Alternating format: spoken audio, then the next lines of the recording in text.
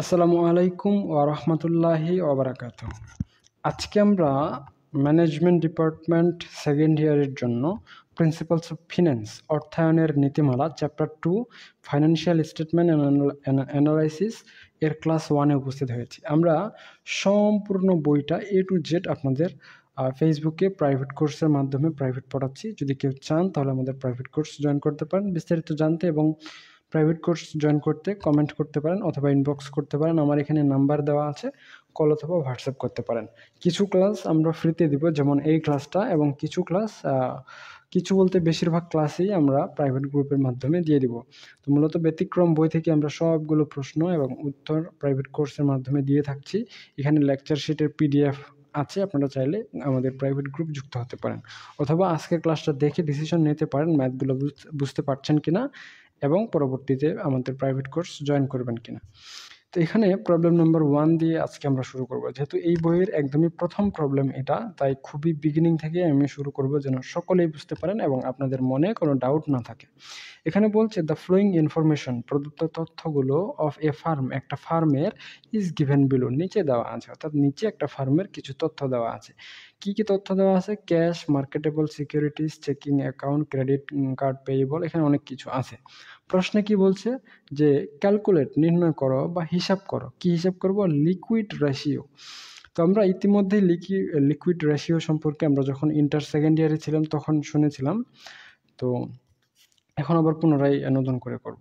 তো লিকুইড রেশিওর সূত্র হচ্ছে liquid acid divided by liquid liabilities তো এই অঙ্কটাই আমরা আজকে এখানে শুরু করছি।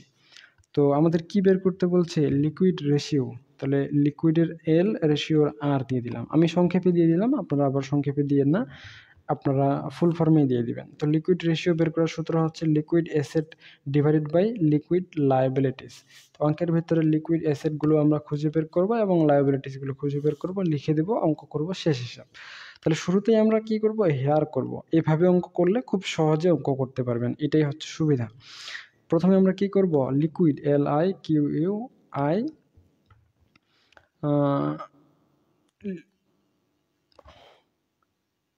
liquid assets A S S E T S S assets তো লিকুইড অ্যাসেটের মধ্যে কি কি বিষয় আমাদের এখানে দেওয়া আছে? তো আমরা দেখছি যে যদি ক্যাশ হাতে টাকা থাকে, তাহলে এটা লিকুইড হিসেবে গণ্য হবে। এরপর মার্কেটেবল সিকিউরিটিস মানে যেই সিকিউরিটিসটা এই মুহূর্তে মার্কেটে মানে নিয়ে গেলে সেটা বিক্রি করা যাবে। তো এটাও কিন্তু আমাদের লিকুইড অ্যাসেটের ভিতরে পড়ে। এরপর চেকিং অ্যাকাউন্ট এটাও লিকুইড অ্যাসেটের ভিতরে পড়বে। ক্রেডিট কার্ড পেয়েবল এটা লিকুইড লায়াবিলিটিস এটা যেহেতু পে করব, তাই আমাদের এটা কী হয়ে যাবে দায় হয়ে যাবে। এরপর শর্ট টার্ম নোট পেবল এটাও আমাদের দায়ের মধ্যে পড়বে। অর্থাৎ প্রথম তিনটা আমাদের অ্যাসেট পরে দুইটা হচ্ছে লায়াবিলিটিস এখানে যতটুকু বুঝতে পারলাম। এই এন্ট্রিগুলো মুখস্থ রাখতে হবে। এখানে লিকুইড অ্যাসেট টোটালে মোটের উপর বারো তেরোটা আছে এবং লিকুইড লাইবিলিটিস সাত আটটার মতো আছে। সবগুলোই আপনারা মনে রাখবেন, মুখস্থ করবেন, তাহলে হয়ে যাবে। এখানে টেকনিক খাটানোর কোনো কিছুই নাই। ঠিক আছে? তো এখানে আমরা লিকুইড অ্যাসেট তিনটা পেলাম। ক্যাশ মার্কেটেবল সিকিউরিটিস আর চেকিং অ্যাকাউন্ট আর লিকুইড লাইবিলিটিস দুইটা পাইলাম। আমরা পরবর্তী অঙ্কগুলোতে আরও বাকি বিষয়গুলো পেয়ে যাব। তাহলে এগুলো শুরুতে লিখি। ক্যাশ আছে তিন লক্ষ তিন হাজার দুইশো, মার্কেটেবল সিকিউরিটি এক হাজার এবং চেকিং অ্যাকাউন্ট আটশো। আর পরবর্তীতে শর্ট টার্ম, নোট পেয়েবল বারোশো আর এখানে short sorry credit card payable বারোশো আর শর্ট টার্ম, নোট পেয়েবল হচ্ছে নয়শো টাকা। তাহলে এগুলো দেখে দেখে লিখে দিই। প্রথমে আমাদের আস্তে আস্তে লিকুইড অ্যাসেটস। তো লিকুইড অ্যাসেট অ্যাসেট আমরা কি দেখলাম? সিএ আসে ক্যাশ দেখলাম। আর কি দেখলাম? মার্কেটেবল সিকিউরিটিস দেখলাম। আর কি পাইলাম? চেকিং অ্যাকাউন্ট পাইলাম। ঠিক আছে? ক্যাশ দেখেছিলাম আমরা তির, তিন হাজার দুইশো টাকা। মার্কেটেবল সিকিউরিটি হচ্ছে আমাদের এক হাজার টাকা। আর আর চেকিং অ্যাকাউন্ট হচ্ছে আমাদের আটশো টাকা। তাহলে টোটাল কতগুলো অ্যাসেট হচ্ছে? টিও এল টোটাল অ্যাসেট হচ্ছে তিন আর একে চার হাজার, আর একে এখানে পাঁচ হাজার টাকা। তাহলে এখানে দিয়ে লিখলাম যে লিকুইড অ্যাসেট তার মানে আমরা লিকুইড অ্যাসেট টোটাল কত পেলাম? পাঁচ হাজার টাকা পাইলাম। এখন আমাদের লাগবে কি? Liquid L I Q U I E D liquid L I A Laya B I L I T I E S liquid liabilities এখন আমাদের লাগবে। লিকুইড লাইবিলিটিস দুইটা পাইলাম আমরা। কোনটা কোনটা? এক নাম্বার হচ্ছে ক্রেডিট কার্ড পেয়েবল আরেকটা পাইলাম শর্ট টার্ম নোট পেয়েবল এই দুইটা। ক্রেডিট কার্ড পেয়েবল হচ্ছে বারোশো টাকা আর শর্ট টার্ম নোট পেয়েবল হচ্ছে নয়শো টাকা। তো total T O TL total আমাদের আসতেছে একুশশো টাকা লিকুইড লায়াবিলিটিস তাহলে এখানে আমরা লিখে দিলাম একুশশো টাকা। ঠিক আছে? তো এই দুইটাকে যদি ভাগ করি, তাহলে আসবে আমাদের টু পয়েন্ট থ্রি এইট এই দুইটা ভাগ দিলে। এখন যখনই আমাদের রেশিওর কথা বের করতে বলবে, যখনই অঙ্কের ভিতরে দেখব যে আমাদের রেশিও বের করতে বলছে, তখন এখানে অনুপাত দিয়ে পিছনে এক দিয়ে দিব। এই একদম শর্টকাট টেকনিক ঠিক আছে? তো প্রবলেম নম্বর ওয়ান আমরা সমাধান করে ফেললাম ফেললাম। এরপর আমরা প্রবলেম নম্বর টু শুরু করি। Problem number two problem number টুতে বলছে following the financial information of Mamun limited Mamun লিমিটেডের এখানে আর্থিক কিছু তথ্য দেওয়া আছে। ক্যাশ এখানে অনেক কিছুই আছে। এখানে বলছে কারেন্ট রেশিও আর কুইক রেশিও কারেন্ট রেশিও মানে হচ্ছে চলতি সম্পদের অনুপাত। কুইক বলতে অতি দ্রুত মানে তরল সম্পদের অনুপাত। ঠিক আছে? তো কারেন্ট রেশিও কোনগুলো? কারেন্ট রেশিও হচ্ছে আমাদের ক্যাশ চলতি সম্পদ। ঠিক আছে? এরপর আমাদের অ্যাকাউন্ট রিসিভেবল কারেন্ট অ্যাসেটসের ভিতরে আসবে। এরপর ইনভেন্টরি দোকানের মজুদ মালামাল, এক বছরের ভিতরেই সাধারণত যেই বিষয়গুলো যেই টাকাগুলো আমাদের হাতে আসবে সেটাকেই আমরা চলতি সম্পদ বলি। ঠিক আছে? আর অ্যাকাউন্টস পেয়েবল হচ্ছে আমাদের চলতি দায়। ব্যাংক ওভারড্রাফট চলতি দায়। এক বছর, এক বছরের মধ্যে আমরা এই টাকাটা পরিশোধ করে দেবো। তো তিনটা পেলাম আমরা কারেন্ট অ্যাসেট উপরে তিনটা ক্যাশ অ্যাকাউন্ট রিসিভেবল ইনভেন্টরি আর কারেন্ট লাইবিলিটিস হচ্ছে আমাদের অ্যাকাউন্ট পেয়েবল আর ব্যাংক ওভারড্রাফট তাহলে সূত্র লিখব, লিখে আমরা ক্যালকুলেশন করব তাহলে হয়ে যাবে। তাহলে এখানে আমাদের কি করতে হবে? কারেন্ট রেশিও বের করতে হবে। ভালো কথা।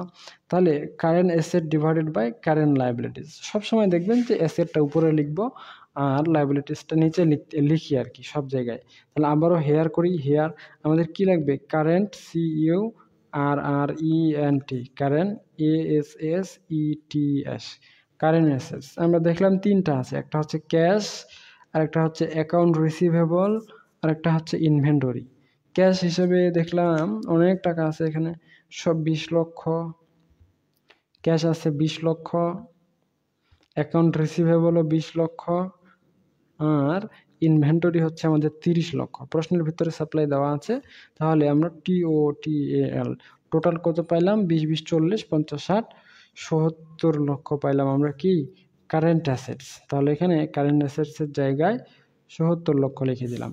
আর কি লাগে? C U R R E N T current liabilities L I A B I L I T I E S current liabilities current liabilities হিসেবে দুইটা জিনিস পাইছিলাম, একটা হচ্ছে অ্যাকাউন্ট পেয়েবল আর একটা হচ্ছে bank overdraft account payable হিসেবে এখানে বিশ লক্ষ আছে ব্যাংক ওভারড্রাফট হিসাবে আছে আমাদের পাঁচ লক্ষ টাকা। তাহলে এই হচ্ছে দুইটা। তো এখানে তাহলে টোটাল লিখে দেব টিও টিএল টোটাল বিশ আর পাচ্ছে কত? পঁচিশ লক্ষ। আমি বলেছিলাম এন্ট্রিগুলো মুখস্থ করে নেবেন দশ বারোটা এন্ট্রি আছে যেটা কারেন্ট এসএলস হিসেবে গণ্য হয়। মোটের উপর বিশটা এন্ট্রি ভালো করে মুখস্থ করলে আপনাদের অঙ্ক ক্লিয়ার তাহলে নিচে আসতেছে আমাদের পঁচিশ লক্ষ। পঁচিশ লক্ষ। তো সত্তর লক্ষকে পঁচিশ লক্ষ দিয়ে যদি ভাগ দেন, তাহলে সত্তর লক্ষ পঁচিশ লক্ষ, তাহলে টু পয়েন্ট এইট জিরো আসবে। যেহেতু রেশিওর কথা বলা থাকবে, যেখানে রেশিওর কথা বলা থাকবে, ওইখানে অনুপাত দিয়ে ওয়ান লিখে দেবেন। এটাই হচ্ছে টেকনিক তো কারেন্ট রেশিও আমরা বের করে ফেললাম। এখানে আরেকটা প্রশ্ন বলছে যে কুইক রেশিও কুইক রেশিও বলতে এই মুহূর্তে চাইলাম, এই মুহূর্তে আমরা কি করব? টাকা পেয়ে গেলাম। কুইক রেশিও বের করব আমরা। তো কুইক রেশিও বের করার সূত্র কি? কুইক রেশিওকে এবার লিকুইডও বলা হয়। কুইক যে আমরা একটু আগে প্রথম প্রবলেমটাতে করেছিলাম যে লিকুইড রেশিও সমান লিকুইড অ্যাসেট আর লিকুইড লাইব্রেটিস ঠিক একইভাবে কুইক অ্যাসেট সমান হচ্ছে quick asset divided by quick liabilities এটা মূলত লিকুইডটাকেই বলা হয়। লিকুইড লাইবিলিটিস আর কুইক লাইবিলিটিস একই কথা। লিকুইড অ্যাসেট কুইক অ্যাসেট একই কথা, ঠিক আছে? তো তাহলে আমরা হেয়ারে আবার অঙ্ক করি। কুইক আছে তাই আমরা দিয়ে দিচ্ছি আর কি কুইক তাহলে কুইক অ্যাসেট কুইক অ্যাসেট সম্পর্কে মানে বিষয়গুলো, কোনগুলো কুইক যেগুলো চাইলেই আমার হাতে টাকা থাকবে। এখানে দেখেন ক্যাশ ক্যাশ টাকা চাইলেই তো আমি খরচ করতে পারব বা টাকা হাতে রাখতে পারব, ঠিক আছে? তাহলে বিশ লক্ষ আমাদের ক্যাশ হিসেবে আছে কুইক এই মুহূর্তে চাইলেই পাচ্ছি। আচ্ছা। এর পরবর্তীতে আমাদের আছে অ্যাকাউন্ট রিসিভেবল এখন অ্যাকাউন্ট রিসিভেবল কি আমরা চাইলেই পাবো? অবশ্যই চাইলেই পাবো। তো এখানে বিশ লক্ষ আছে অ্যাকাউন্ট রিসিভেবল তাহলে অ্যাকাউন্ট রিসিভেবল বিশ লক্ষ সরি বিশ লক্ষ লিখে দিলাম। আচ্ছা এর পরবর্তীতে কি আছে? যে ইনভেন্টরি এখন এই যে ইনভেন্টরির টাকাটা, এটা কি চাইলেই পাবো? চাইলেই পাবো, কিন্তু লস করে বিক্রি করতে হবে। আমরা এক বছরের মধ্যে ইনভেন্টরি পাবো। কিন্তু এই মুহূর্তে ইনভেন্টরিটা যদি ই করতে যাই, তাহলে কিন্তু আমাদের লস করতে হবে। তার মানে এইটা আমাদের কি? কুইক বা লিকুইড না। তার মানে দুইটাই, আর বাকিগুলো তো পেয়েবল তো এই দুইটা এইখানে যোগ করে দিই টোটাল টি ও টি এল টোটাল আসতেছে আমাদের চল্লিশ লক্ষ টাকা। তাহলে কুইক অ্যাসেট কত? চল্লিশ লক্ষ। আর লাগে কি কুইক লায়াবিলিটিস মানে যে এগুলো চাইলেই আমাদের দিয়ে দিতে হবে। তো আমরা অঙ্কটাতে দেখতেছি যে অ্যাকাউন্ট পেয়েবল এরা যদি চায় তাহলে কি আমাদের দিতে হবে? অবশ্যই দিতে হবে বিশ লক্ষ। কিন্তু ব্যাংক ওভারড্রাফট চাইলেই দিয়ে দিতে হবে? না। ব্যাংক ওভারড্রাফট ব্যাংকের হিসাব হয় সাধারণত তারা এক বছর পর চাইবে, তারা এখন চাইবে না। ঠিক আছে? তার মানে কুইক লাইবিলিটিস শুধু একটাই আছে অ্যাকাউন্ট পেয়েবল কত? বিশ লক্ষ আছে। তাহলে আমরা এখানে বিশ লক্ষ লিখে দিছি। আচ্ছা তাহলে ভাগ দেন, তাহলে দুই আসবে পুরাপুরি। তো যে, যেখানে রেশিও থাকবে আমি বলেছিলাম, যেখানে রেশিও থাকবে, সেখানে আমরা অনুপাত দিয়ে এক লিখে দেবো। তাহলে হয়ে গেল। তো প্রবলেম দুইটা আমরা খুব সহজেই সমাধান করে ফেলতে পারলাম। এখন প্রবলেম নাম্বার থ্রি শুরু করি। প্রবলেম থ্রি প্রবলেম থ্রিতে কি বলছে? যে following is the information of Farhad limited প্রদত্ত তথ্যগুলো ফরহাদ লিমিটেডের জন্য। ভালো কথা cash account receivable inventory account payable bank overdraft এটা কি সেম নাকি আগেরটার মতোই? Cash account receivable inventory account payable bank overdraft এখানে কারেন্ট রেশিও কুইক রেশিও ও, এটা পুরোটাই সেম এটা আমরা প্রবলেম নাম্বার যে টু করলাম, ওটার মতোই S A M E same two problem two এটা আপনাদের এইচ ডাব্লিউ থাকল। হোমওয়ার্ক ঠিক আছে? ঠিক আছে, তো আজকে পর্যন্তই। আমরা পরবর্তী ক্লাসটা প্রাইভেট গ্রুপে নিব। প্রবলেম নাম্বার ফোর থেকে এদিকে যতগুলো প্রবলেম আছে, মূলত প্রথম ক্লাসগুলো খুব সহজ নেওয়া হলো। আর পরের ক্লাসগুলো কিন্তু এতটাও সহজ না। যত এদিকে আসবেন, তত ক্লাসগুলো একটু একটু করে জটিল হওয়া শুরু হবে। তো এই জটিল ক্লাসগুলো আমরা প্রাইভেট গ্রুপের মাধ্যমে আজকে যেভাবে নেওয়া হইল, ঠিক একইভাবে আপনাদের নেওয়া হবে। ইনশাল্লাহ আপনারা আমাদের প্রাইভেট গ্রুপ জয়েন করলে বাকি ক্লাসগুলো করতে পারবেন। তো ধন্যবাদ সকলকেই। সকলেই সুস্থ থাকুন, ভালো থাকুন আর আমাদের সাথে থাকুন। দেখা হচ্ছে নেক্সট পর্বে, কালকে। ততক্ষণ পর্যন্ত সকলেই সুস্থ থাকুন, ভালো থাকুন। খুদা হাফিজ।